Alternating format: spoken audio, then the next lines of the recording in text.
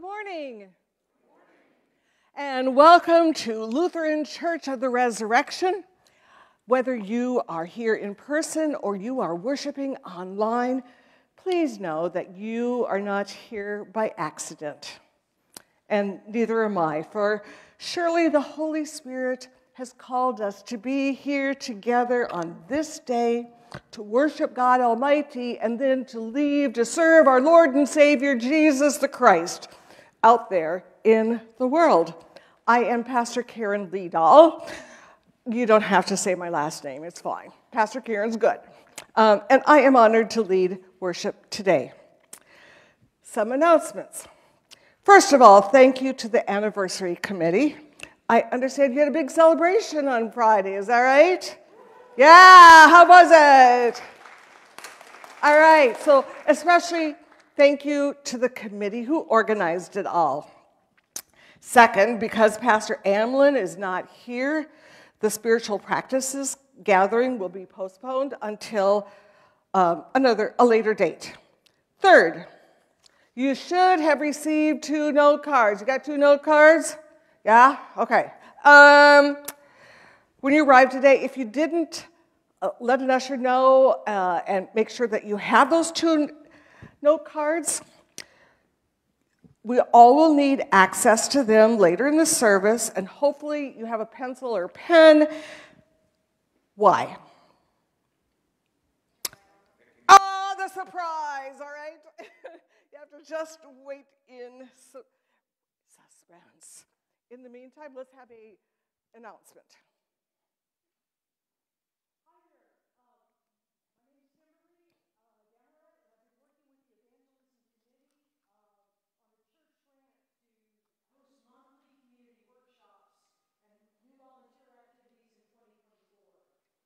Finding other topics that would be interesting to both our church members and the community at large. So you can bring, you know, so you're definitely going to be encouraged to bring others along. Just to give you an idea of the topics we're looking at, things like healthy habits, parenting skills, volunteer opportunities, native plants gardening, pet health, uh, meditation and mindfulness, oyster gardening, combating crowding with seniors, that kind of thing. Uh, fighting seasonal depression, sustainability, reducing waste. Kind of broad spectrum topics that would be interest, of interest to everybody. Uh, we are going to be including more information in the November newsletter, but feel free to reach out to me or Jennifer Kirkpatrick, uh, you know, anytime if you've got some additional ideas. We're actually submitting grant at the end of this month. So thank you. And thank you.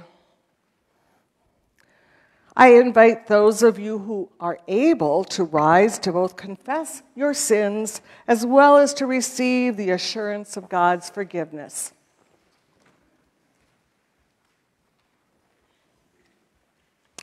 In the name of the Father, and of the Son, and of the Holy Spirit. Almighty God, to whom all hearts are open, all desires known, and from whom no secrets are hid, cleanse the thoughts of our hearts by the inspiration of your Holy Spirit, that we may perfectly love you and worthily magnify your holy name. Through Jesus Christ our Lord. Amen. Let us confess our sin in the presence of God and of one another.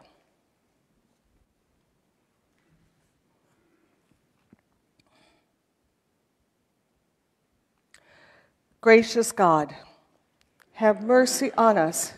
We confess that we have turned from you and given ourselves into the power of sin. We are truly sorry and humbly repent.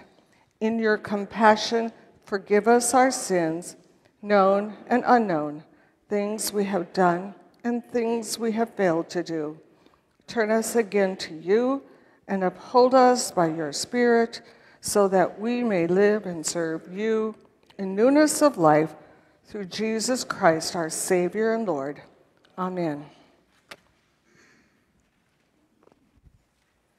In the mercy of Almighty God, Jesus Christ was given to die for us, and for his sake forgives us all our sins As a called and ordained minister of the Church of Christ, and by his authority, I therefore declare to you the entire forgiveness of all your sins. In the name of the Father, and of the Son, and of the Holy Spirit. Amen.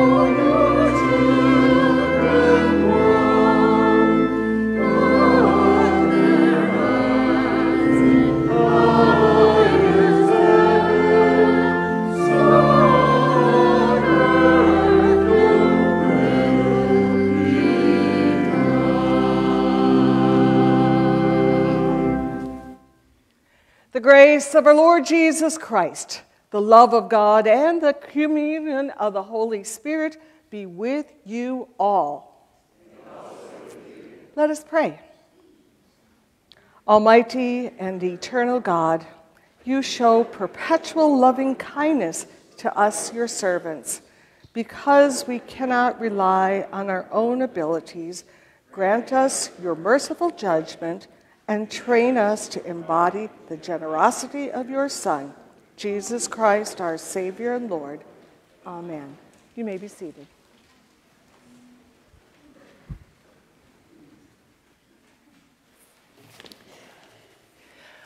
Our first reading is from the prophet Jonah.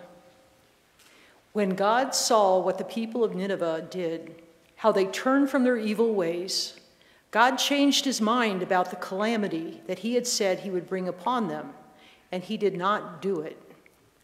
But this was very displeasing to Jonah, and he became angry. He prayed to the Lord and said, O Lord, is not this what I said while I was still in my own country?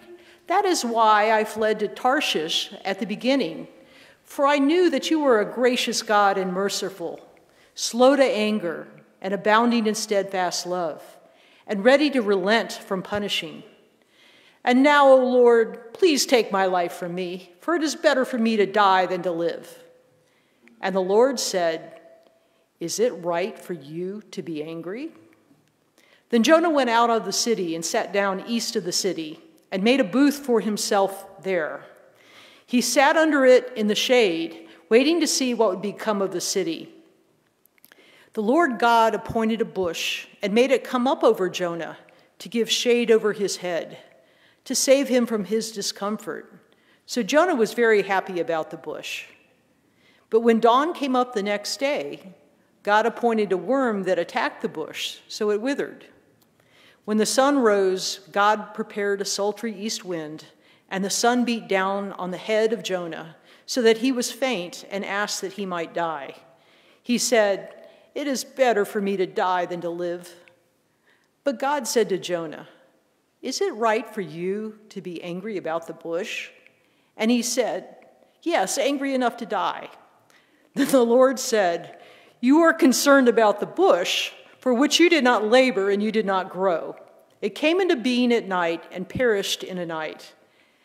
And should I not be concerned about Nineveh, that great city in, where, in which there are more than 120,000 persons who do not know their right hand from their left, and also many animals? Word of God, word of life. Please read responsively with me from Psalm 145. I will exalt you, my God and King, and bless your name forever and ever.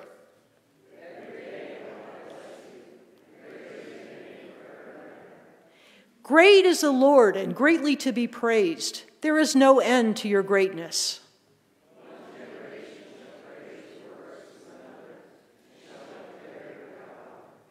I will speak of the glorious splendor of your majesty and all your marvelous works.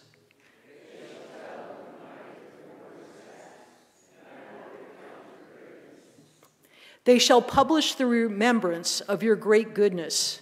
They shall sing joyfully of your righteousness.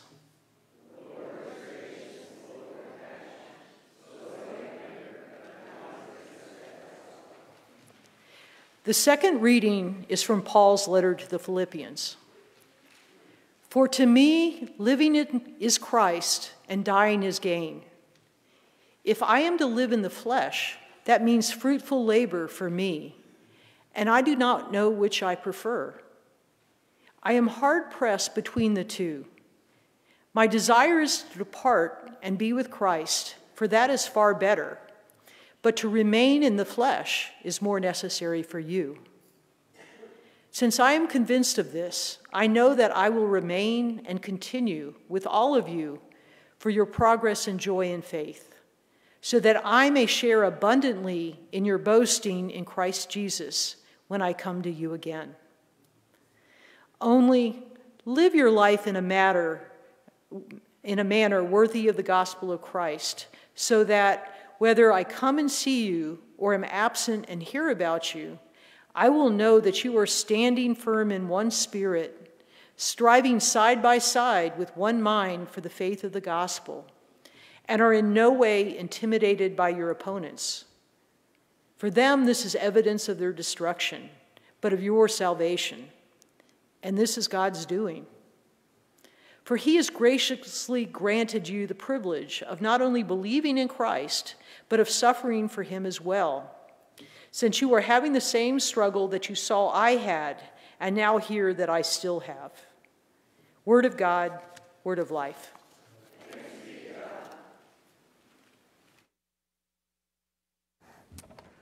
invite the young people to come up at this time.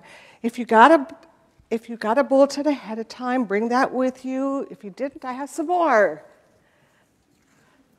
I bet you were wondering what that was all about. It's good to see you. Hi. Who can give me a definition of the word generous or generosity?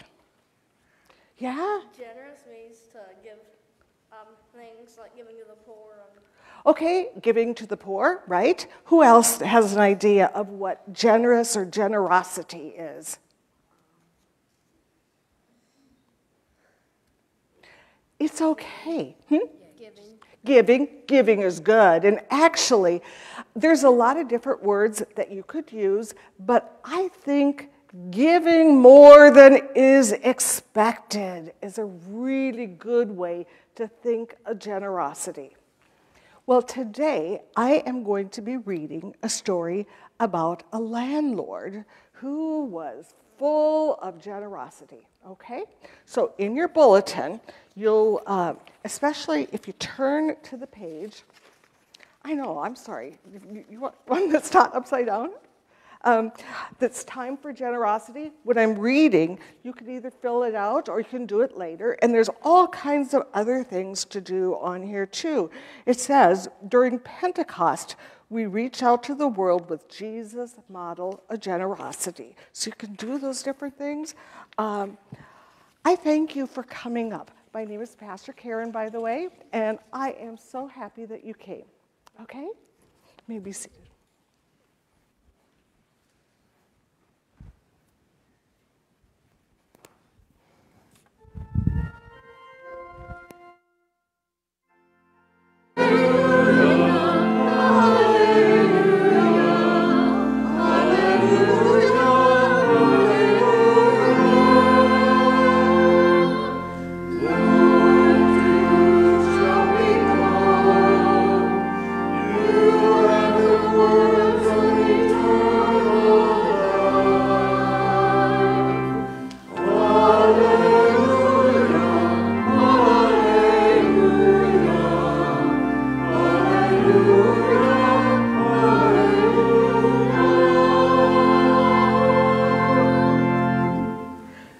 Holy Gospel according to St. Matthew, the 20th chapter.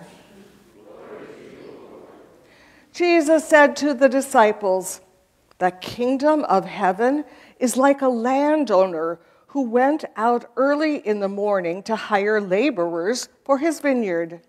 After agreeing with the laborers for the usual daily wage, he sent them into his vineyard. When he went out about nine o'clock, he saw others standing idle in the marketplace. And he said to them, You also go into the vineyard, and I will pay you whatever is right. So they went. When he went out again about noon and about three o'clock, he did the same. And about five o'clock, he went out and found others standing around. And he said to them, Why are you standing here idle all day? They said to him, because no one has hired us. He said to them, You also go into the vineyard. Evening came, the owner of the vineyard said to his manager, Call the laborers and give them their pay, beginning with the last and then going to the first. When those hired about five o'clock came, each of them received the usual daily wage. Now, when the first came, they thought they would receive more, but each of them also received the usual daily wage. And when they received it, they grumbled against the landowner, saying, These last worked only for one hour, and you have made them equal to us who have been borne the burden of the day and the scorching heat. But he replied to one of them, Friend, I am doing you no wrong. Did you not agree with me for the usual daily wage? Take what belongs to you and go. I choose to give to this last the same as I give to you. Am I not allowed to do so, do what I choose with what belongs to me? Or are you envious because I am generous? So the last will be first, and the first will be last. The gospel of the Lord.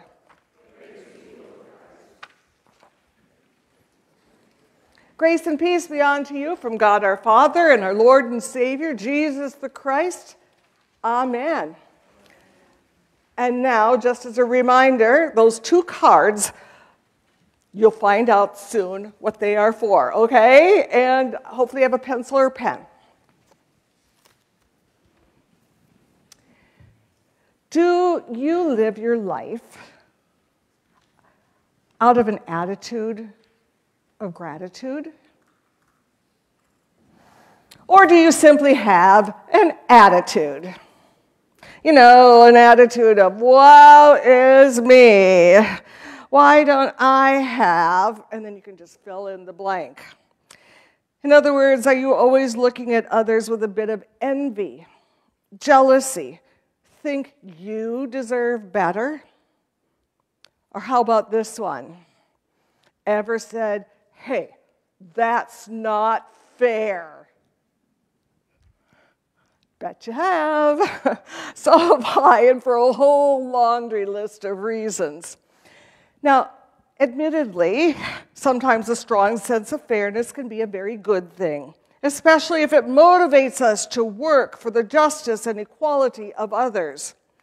Where we run into problems is that people have this tendency to be rather egocentric when it comes to fairness.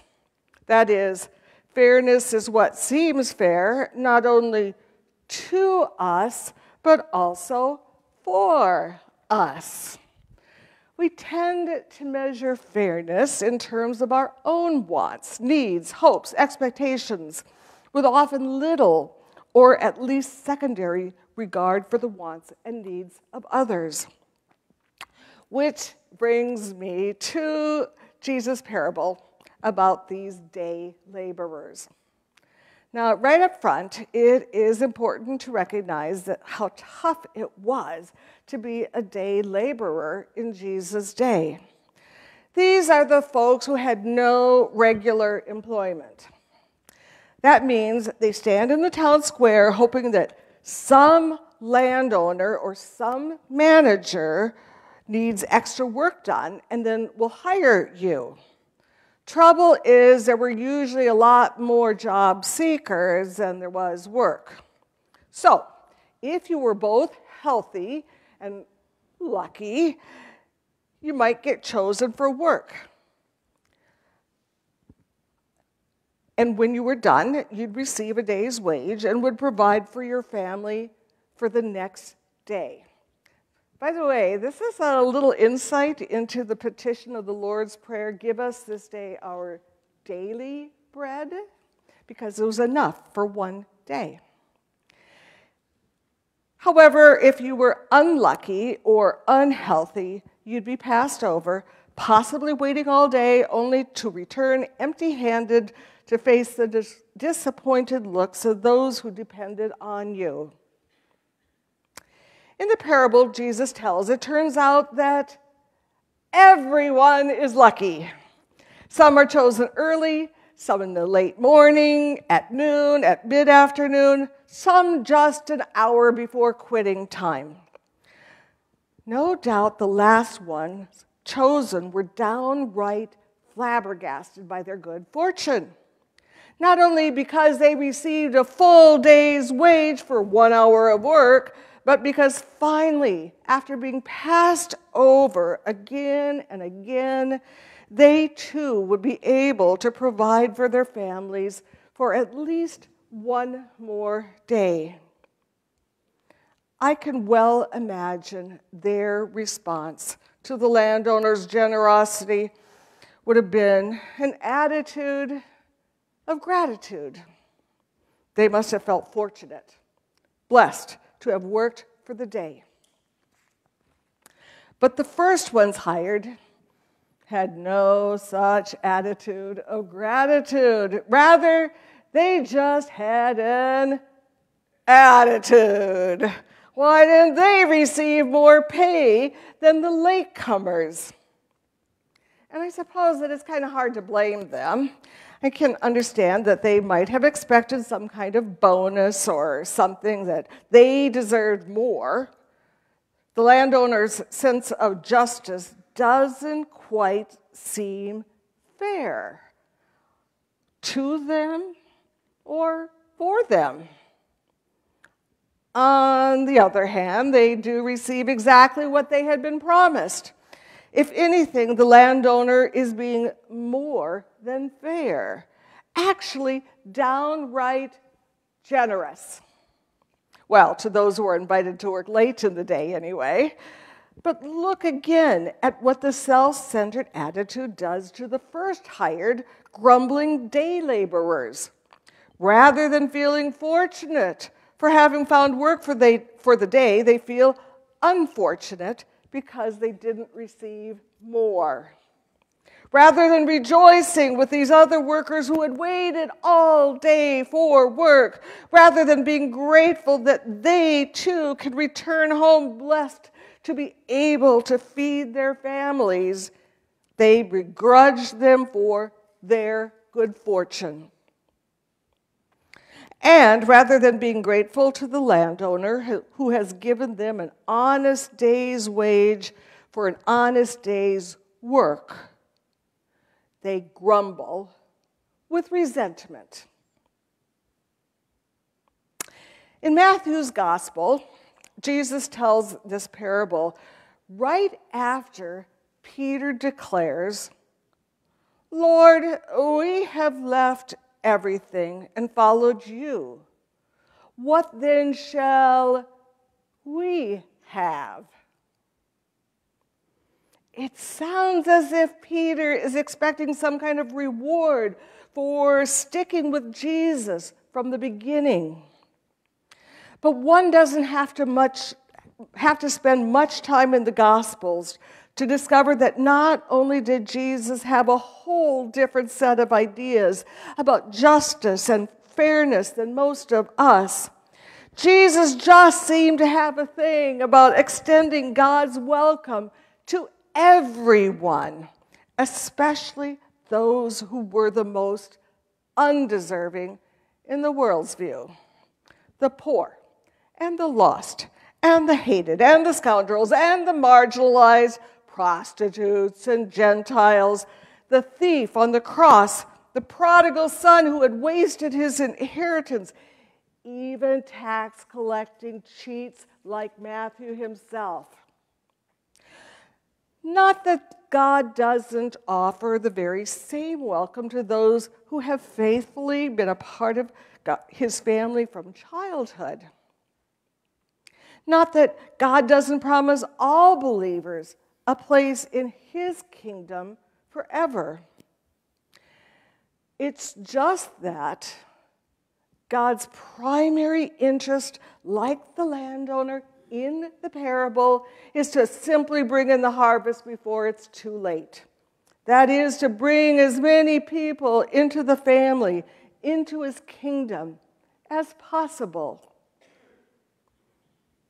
And how's God going to do that? By putting workers into his field, workers who happen to be all needful of the very same thing, no matter when they arrive on the scene. In the parable, it's a daily wage in order to feed their families. And us, people needful of life in God's kingdom right now as well as forever.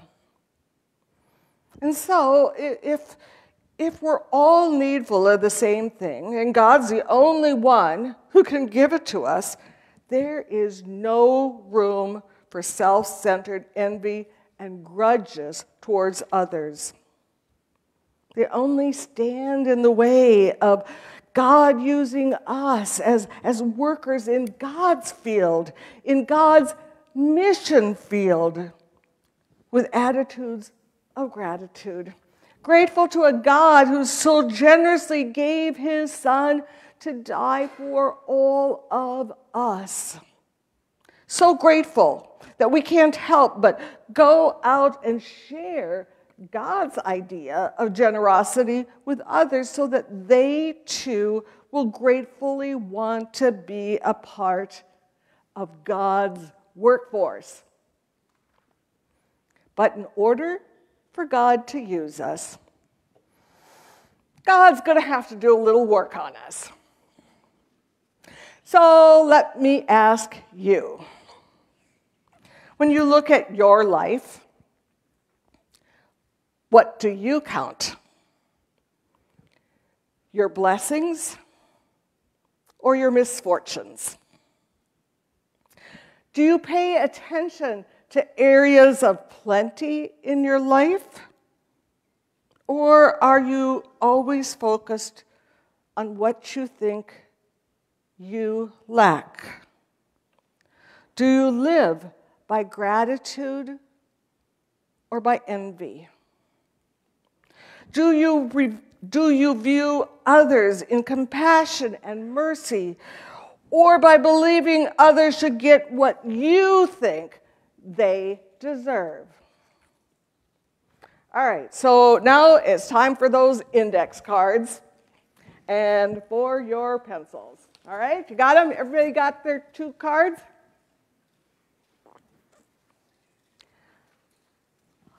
On one card, take a moment to write down some resentment, some grudge you hold in your heart. It could be something you think you lack or something of which you are envious. Questions? I'm not going to look at them, all right? okay, so you got a minute?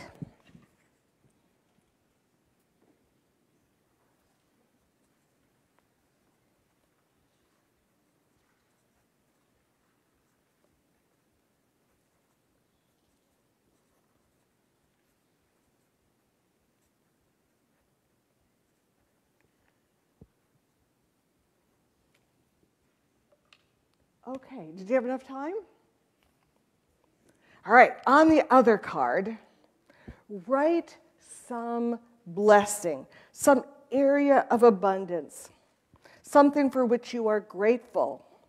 It might be something in your own life or in the life of someone else. It might be something for which you are thankful through this congregation. Okay? Questions?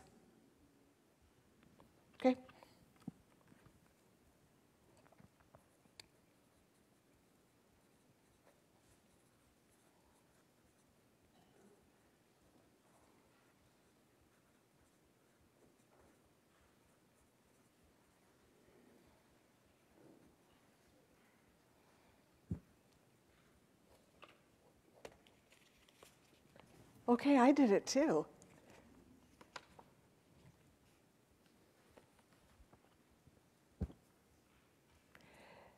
If you are able to put one card in each hand, you'll note that physically the cards weigh the same.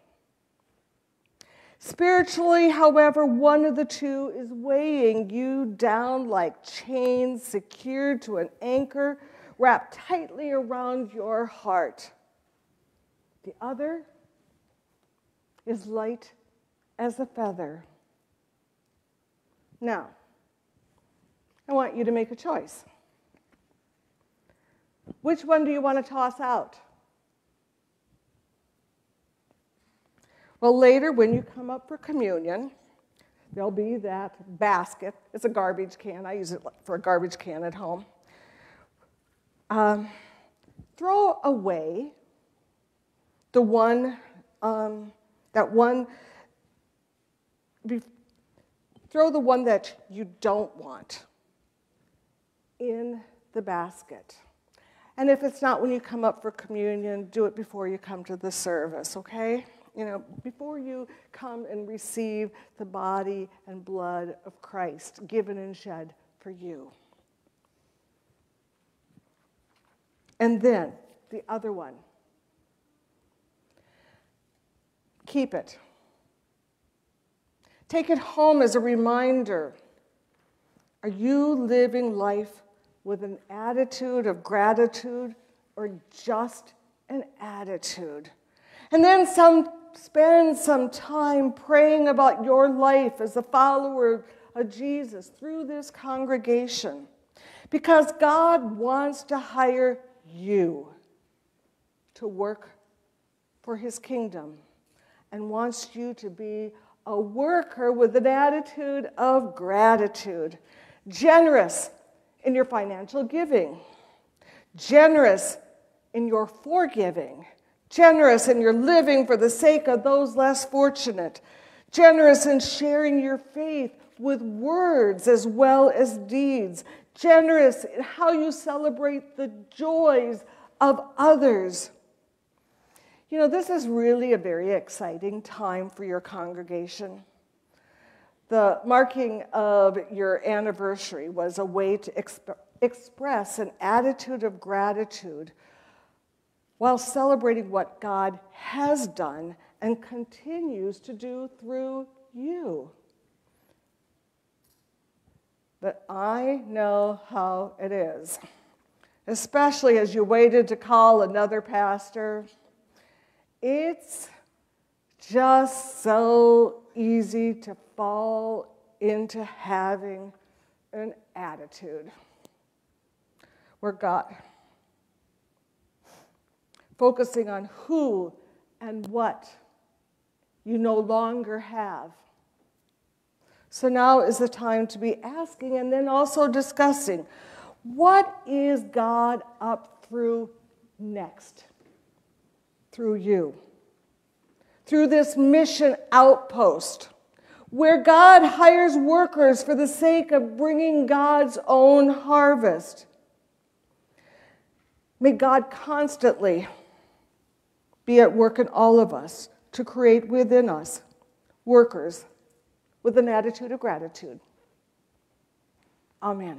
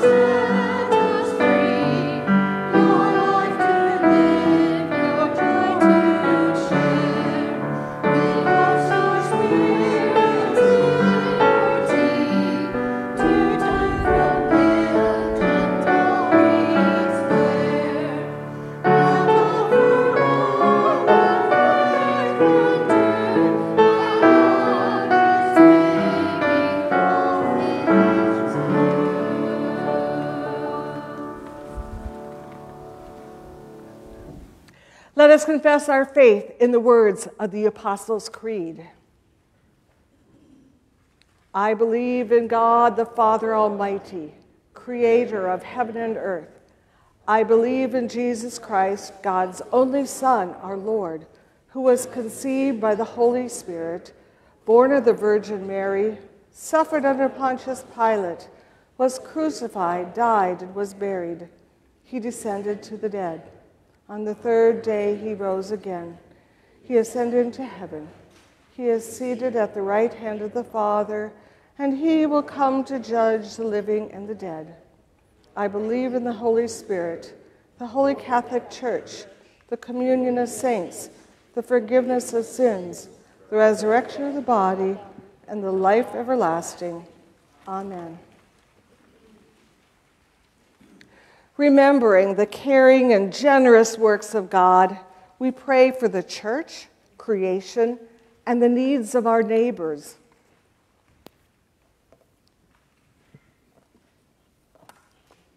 God, who is gracious and merciful, teach your church to invite and welcome all. Lead us to be grateful for the blessing of community. Challenge your church to choose equity and compassion over judgment. Merciful God.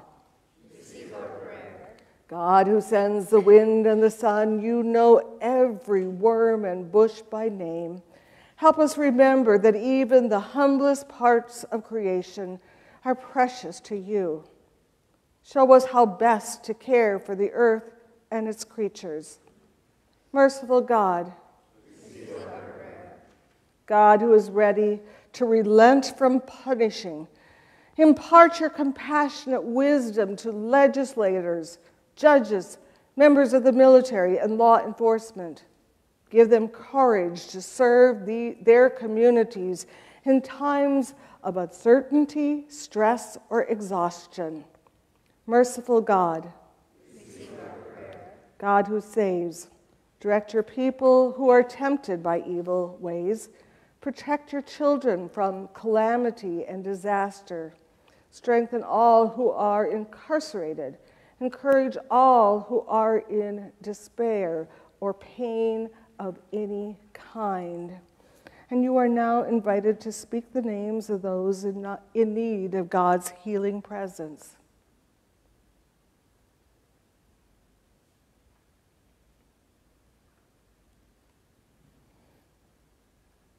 God, who is slow to anger, may we boast about the goodness of Jesus with the confidence of Paul in prison Inspire us to find abundance in whatever vocation we are called to in the world and in service to our congregation. Merciful God,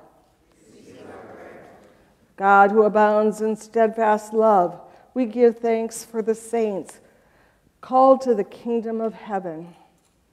United with them in spirit, help us hold us firm as we labor in this life and look to the life to come merciful God. Remember us according to your steadfast love as we offer these and the prayers of our heart, trusting in your compassion made known through Jesus Christ. Amen.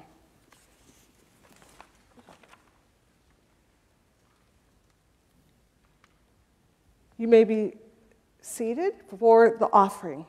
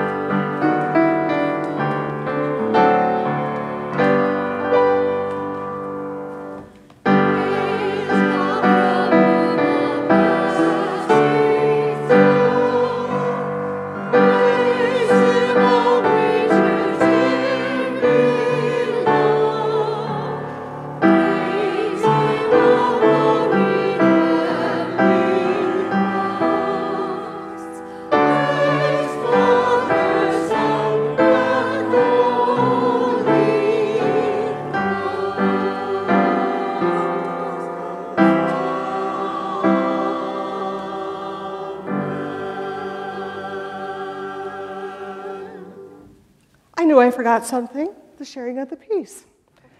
The peace of Christ be with you always. Share the peace in a way that you feel comfortable.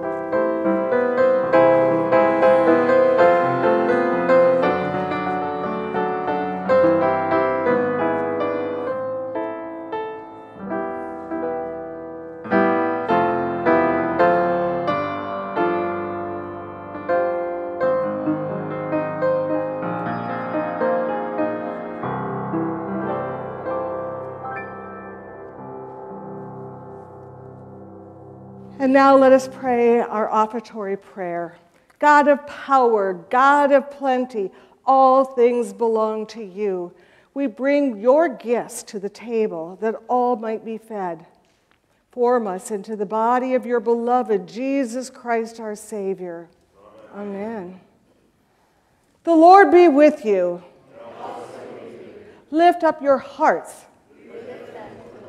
Let us give thanks to the Lord our God.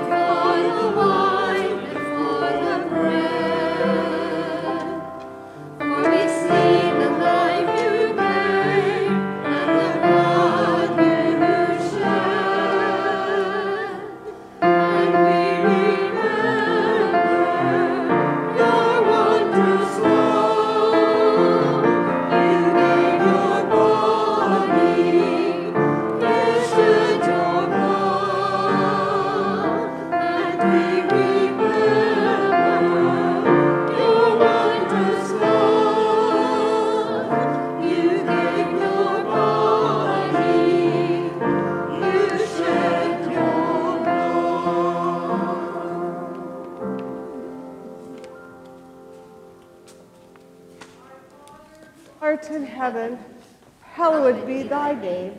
Thy kingdom come, thy will be done, on earth as it is in heaven. Give us this day our daily bread, and forgive us our trespasses, as we forgive those who trespass against us. And lead us in temptation, but deliver us from evil. For thine is the kingdom, and the power, and the glory, forever and ever. Amen. Jesus invites you to this table. Come, eat, and live. You may be seated.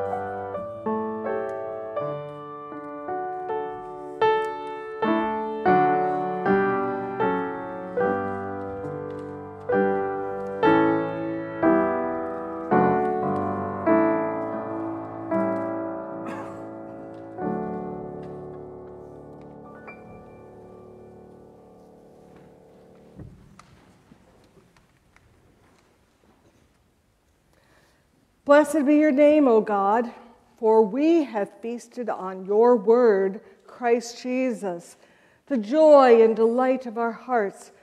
Strengthened by this food, send us to gather the world to your banquet, where none are left out and all are satisfied. In Jesus' name we pray. Amen. Now may the Lord bless you and keep you. The Lord's face shine on you and be gracious and merciful. The Lord look upon you with favor and give you peace. Amen.